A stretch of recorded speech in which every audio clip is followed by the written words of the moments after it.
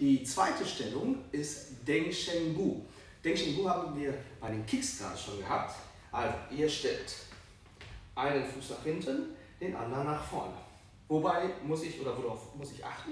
Nummer eins, das Bein hinten ist gerade.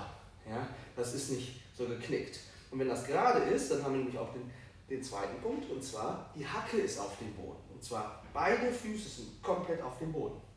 Das vorderste Knie ist gebeugt Rücken ist gerade.